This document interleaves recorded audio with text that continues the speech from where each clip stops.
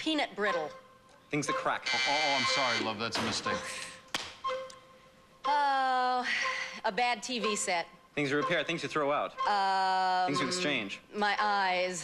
Things that uh, blink, flutter. Um, yes, he You said it. dirty dog. He said it. I know he said it. Uh, Shoot. blink, wink. You s- said Oh, uh, He Judge, said it. You'll have to go back and listen because both Adrienne and I heard him say flicker. If we didn't, we're both crazy, but I wouldn't count on that either.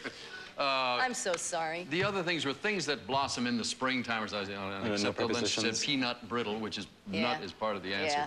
Yeah, we so. believe we heard the word flicker. They'll check the tape while we're in commercial, and we'll say be right back to do it again. Remember. I'm sure I heard flicker. I thought I did too.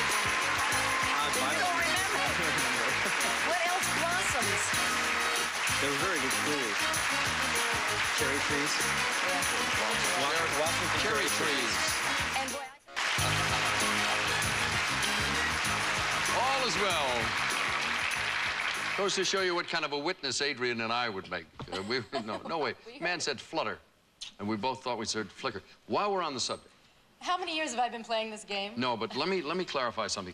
Last week when we had our blind contestants here, we allowed people to say, "Yes, you're on the right track. No, you're not." In other words, yes, yes, mm-hmm, mm-hmm, mm-hmm, like that. Here we let a little head nod go if you're right, but you were fluttering, and a physical clue.